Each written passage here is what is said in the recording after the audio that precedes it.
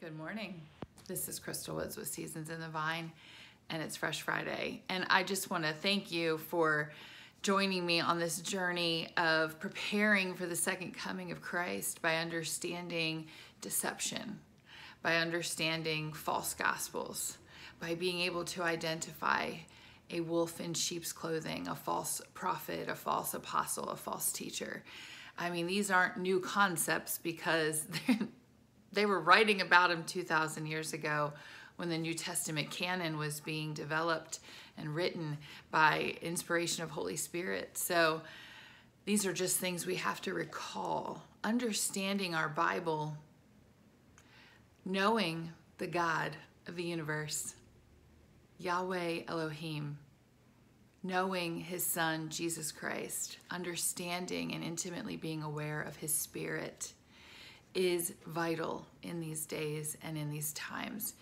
The earth is groaning, the birth pains have begun, and we need to be prepared. We need to be vigilant. We need to have our eyes open. We need to be aware of what deception tastes like, smells like, looks like. We need to be aware of when we are hearing something that sounds like Jesus, but isn't just Jesus.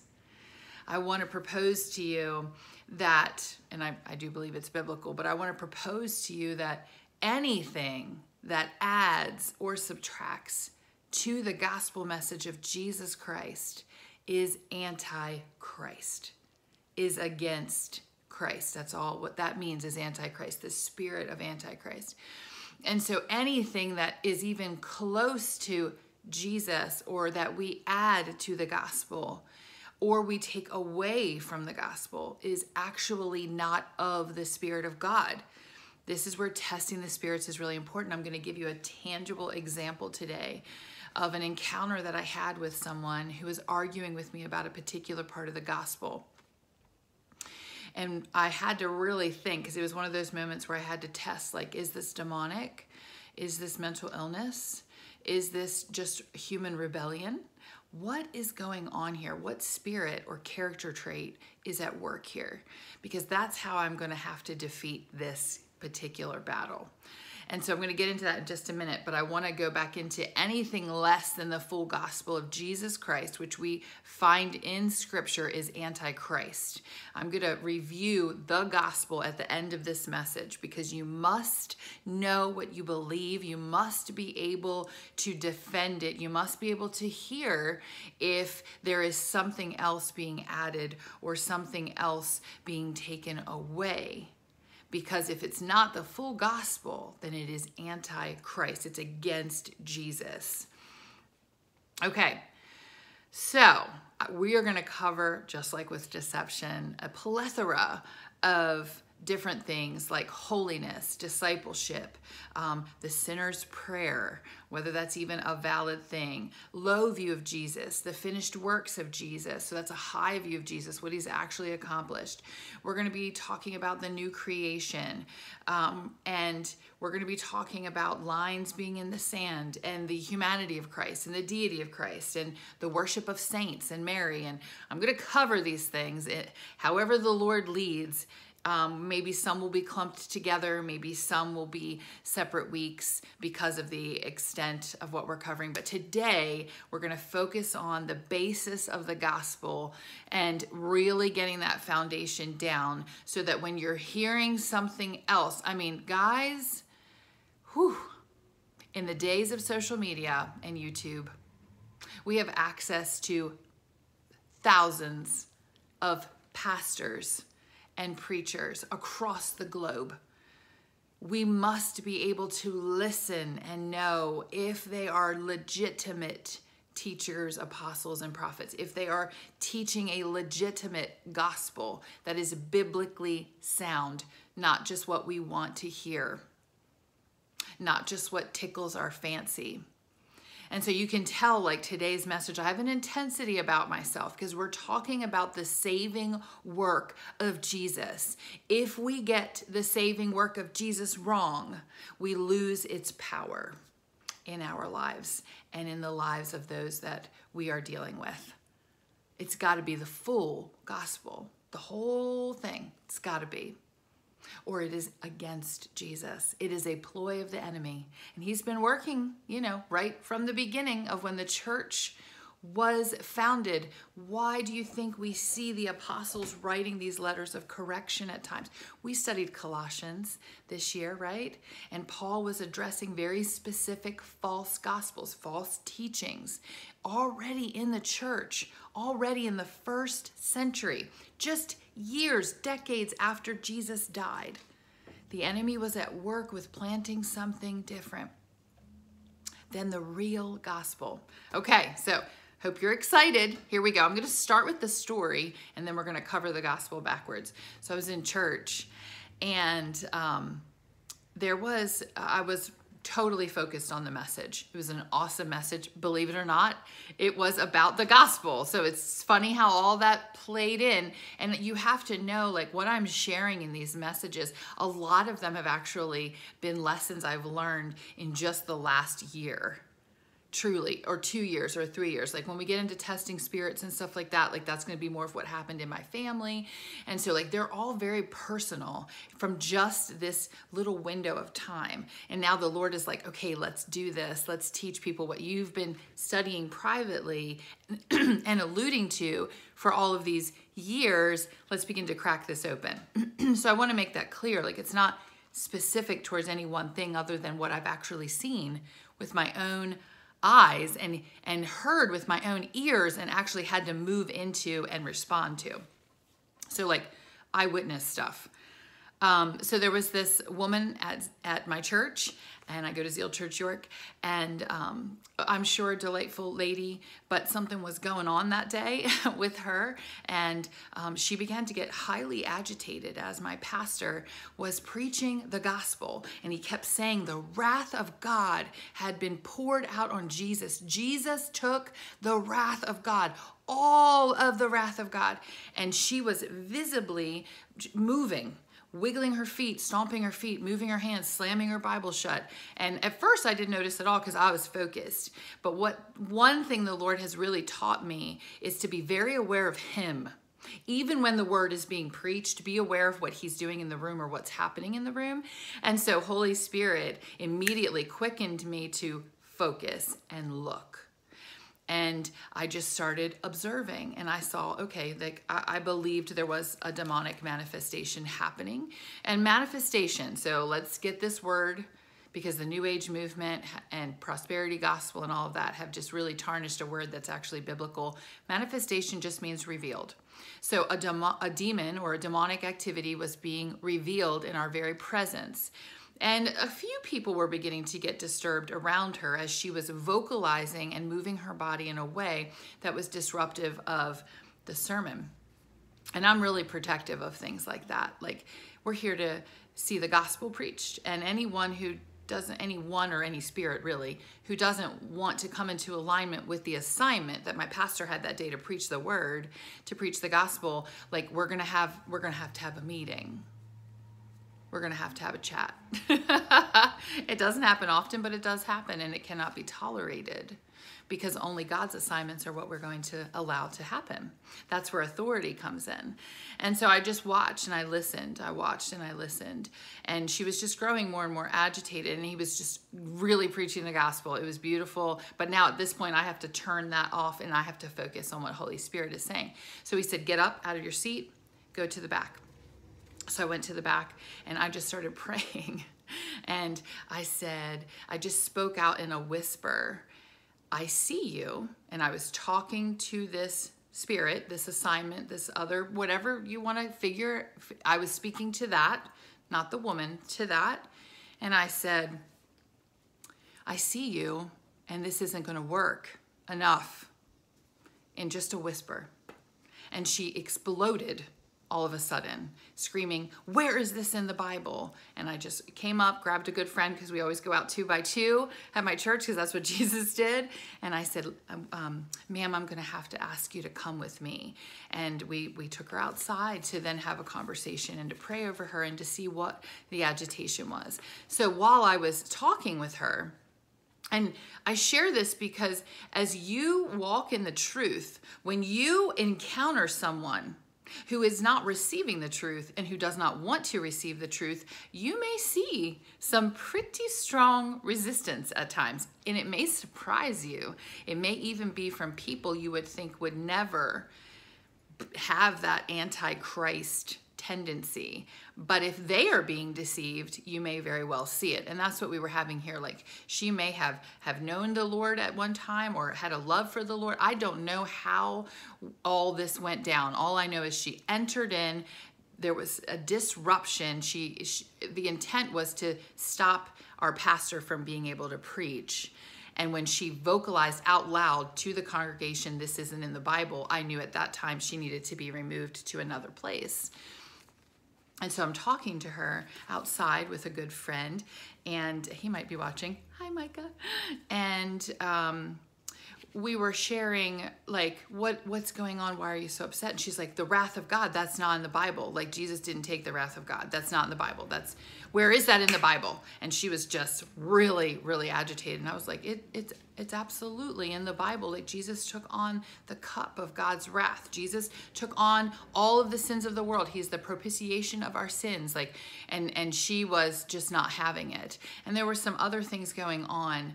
Um, and we were able to pray for her and and try to love on her, but also like this is not going to be tolerated because this actually is in the Word of God. This is part of the gospel. So what was happening then is this dialogue I was having with the Holy Spirit and there were some other things he revealed that are not pertinent to this message today.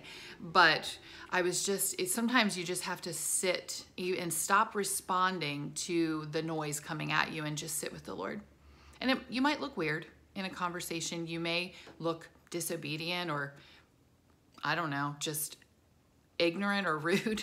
But it's more important you listen to him than than you care what people think about what's going on because your motive is pure you want to honor the lord and so i was just listening and i was like oh this is an attack on the gospel i discerned then the holy spirit was saying that's the spirit that's at work it's the spirit that says the gospel isn't the gospel mm. and when that happened i was like game over not to work because if you take away the wrath of God being poured out on Jesus, then we are not forgiven. There is no hope. No one is saved. The work was not finished. Do you see what I mean? So, like, you have to really listen when certain denominations, even, we're going to get into different things about how people teach the new creation and new life in Christ. And we're going to talk about brokenness and sinfulness and just all kinds of stuff. We are going to open that up as the Lord leads. But you have to be very aware of what the gospel actually says because if any part of it is taken away, it is a false gospel. It is a false gospel at that point. And so, if I would have agreed with her and she would have been able to speak out loud in our assembly over the pastor, which would not have happened. Like that is not going to be okay. It was out of order. That's another thing. That's out of order. That's not Holy Spirit doing that because Holy Spirit always works in order and there's an authority in the church and obviously the pastor is the highest authority in that church and if he's speaking no one should be interrupting him. That's out of order. I can test that because I know the Bible and I know how Holy Spirit works. And so I can test that in real time and say, this is not a spirit of God this, or the spirit of God. This is a spirit of something else. And if it's not God, it's antichrist. It's the enemy. It's something outside of the bounds of what we should allow to be part of a biblical gathering of the saints. So, wrath of God. She was trying to diminish that that happened at all. Like, not even diminish. She was just saying it didn't happen. And that was where we had to end the conversation because it did indeed happen. And I'm not going to come to your side on this because the gospel is that Jesus took the wrath of God onto himself for us. And I'm going to give you some scriptures that talk about that. And so let me make sure I closed all that out. This is me listening to Holy Spirit. Okay, that feels good. So let's go through a couple of scriptures because that's going to be really important. Let's go through a couple of scriptures. Um, I'm not going to go through all of them. There's a ton that talk about like what Jesus actually did, and then we're going to cover the gospel really quick. So Romans 5 9, since therefore we have been justified by his blood, much more shall we be saved by him from the wrath of God. So like we are saved by him, justified by his blood from the wrath of God. Whoever believes in the Son has eternal life. Whoever does not obey the Son shall not see life, but the wrath of God remains on him. Okay, so if you're not believing in the Son, you have the wrath of God remaining on you. Um, let's see. First, oh, that was John 3 36. First John 4 10. And, and this is love, not that we have loved God, but that He loved us and sent His Son to be the propitiation for our sins, total covering, total atonement. He took on what belonged to us. 1 John 2 2. He is the propitiation for our sins, and not for ours, but also for the sins of the whole world. But God showed his love for us, Romans 5 8 9, that while we were still sinners, Christ died for us. And then it goes on to repeat what I said at the beginning. We are justified by his blood. If not, the wrath of God remains on us, Romans 5 1. Therefore, since we have been justified by faith, we have peace with God through our Lord Jesus Christ. We have peace now, not wrath, between us. Let me see what else I got. Isaiah 53 10 through 11. Yet it was the will of the Lord to crush him. He has put him to grief. When his soul makes an offering for guilt, he shall see his offspring. He shall prolong his days. The will of the Lord shall prosper in his hand. Out of the anguish of his soul, he shall see and be satisfied. By his knowledge shall the righteous one, my servant, make many be accounted as righteous, for he shall bear their iniquities. That's the wrath of God. That's the sin of God. That's what was poured out. Jesus covered all of that. Surely, Isaiah 53, 4, 5. Surely he has borne our griefs and carried our sorrows, yet we esteemed him not, stricken and smitten by God and afflicted. But he was wounded for our transgressions, he was crushed for our iniquities. Upon him was the chastisement that brought us peace, and by his stripes we are healed. And so, once again, that's the wrath of God.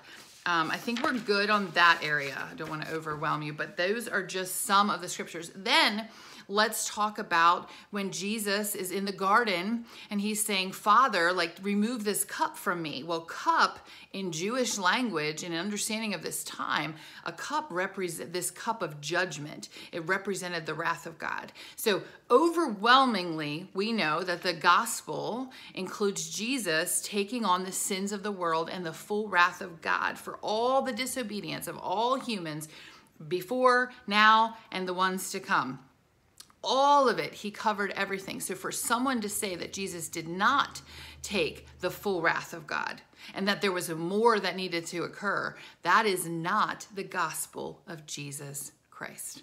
That is not the gospel of Jesus Christ. Those who have been saved are no longer living under the wrath of God. There are things in Ephesians that cover this. There are things in Colossians that cover this. Like you this is why your Bible is very very very important. Okay, I think we covered that. I'm so excited. I'm looking. These notes have been weeks old. I mean, months old now. I guess I've been doing this series a while. I'm just looking through where we're going to go, and I'm very excited. So let's review in finality the gospel. So God created the world. Adam and Eve, through their own free will and being deceived by the serpent, entered into sin, broke covenant relationship with God, now separated because God is holy and cannot be in relationship with sin. Do you see how if Jesus didn't take on the wrath of God, we would not have relationship with the Lord? Like we wouldn't be able to have relationship with God if Jesus hadn't done that. So you see why the attack on that specific part of the gospel, that's when I realized I'm shutting this down. And I did. Prayed, you know, did what I felt led by the Lord to do, but also like this is not going to be permissible here because you are actually against the gospel, and that is not to be tolerated. So, there's more to all of this. Check out my statement of faith on my website if you want to see like a full breakdown of who the Father is, who Jesus is, who Holy Spirit is, who God is, what sin is, all of that. I just, I'm not going to get into it. You can go to read it if you want. But this is what I want you to know about Jesus because everything about the gospel is about Him. This is God coming to save the world from their sins, the world that He created, the people that He designed to worship Him, but then fell away through their own sin and willingness to worship other gods. He comes to redeem them. So, Jesus, this is what you need to know about Jesus. He's God's only Son and our sole mediator. He's the King of Kings and the Lord of Lords. He is the exact representation of the Father. Now, this is all scripture. I'm literally just putting it in a paragraph. And he lived out the Father's will and heart for humanity perfectly. He only ever did what he saw the Father doing. So if you see it in Jesus, that's what the Father, that's who the Father is, that's who God is. Jesus showed us the Father's will for humanity through his anointing. He wants humanity to hear the gospel. He wants humanity to experience healing, all different kinds of healing spiritual, emotional, physical, mental, all of it and deliverance. Everyone that is bound by the serpent, by the enemy, by their own sinful patterns, he wants them delivered. So he preached and healed and delivered. That's his anointing. Look at Luke 4. Jesus has a name above all names. And then Luke 4 quotes Isaiah 61 1. Jesus has a name above all names and has been given all authority in heaven and on earth. He gave that same authority to his followers so they could continue to bring his kingdom to earth. That's just, you have to understand, rabbis and disciples at Jesus' time, there is no question. And I'm going to cover authority because when you are taught a gospel that has no authority for the believer, it's false. It's just not, it's not even biblical. We're going to get there. You can see I get fired up about certain things. Um, so that they would continue to bring his kingdom to earth. Now, I say seasons in the vine, but eh, the Bible upholds and seasons in the vine under the bible upholds the belief in jesus's pre-existence he was before he has always been in the beginning was the word right his incarnation god in flesh a divine and human will merged into one fully god fully man huge if there's too much humanity or too much deity you lose the gospel power you lose it. This is where false gospels are developed is when we focus on one part and not keeping it together. Deity and humanity perfectly, perfectly balanced. His virgin birth.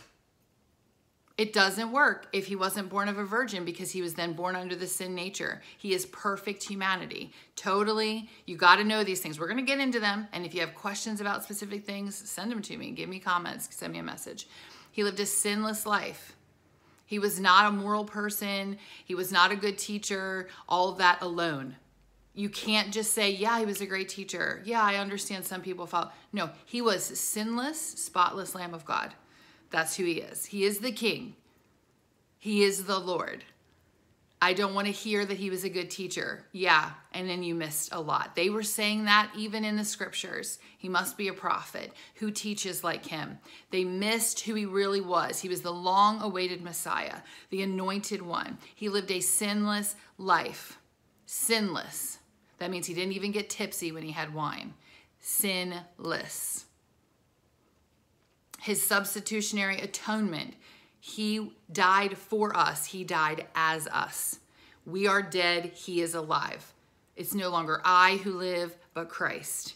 Let me only preach Christ and Christ crucified. Like everything is about that substitutionary atonement. We are atoned because He took our death for us and as us his bodily resurrection from the dead. We're going to cover that. It's important. It's not a spiritual resurrection, it's a bodily resurrection. His body came out of the grave. It's a different kind of body. It's a resurrected body, glorified body, different kind of body because it went through walls and stuff and could just go places. But it was a body, it was his broken body that died, resurrected, not spiritual like it, you have to remember it's bodily. This is huge. That's a whole nother thing. His ascension to the right hand of the father. He is now seated at the right hand of the father and he is coming back.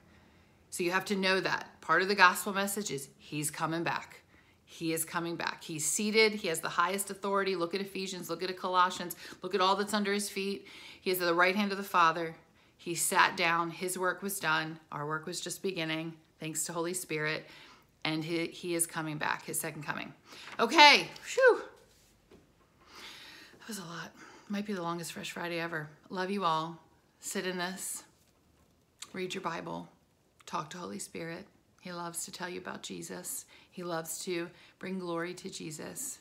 A high view of Jesus is required. You have to be able to begin to listen to when you're hearing something that is almost like Jesus, may even sound like Jesus, may even be quoting the Bible but is actually not the full gospel of Jesus. We need to be aware in these days.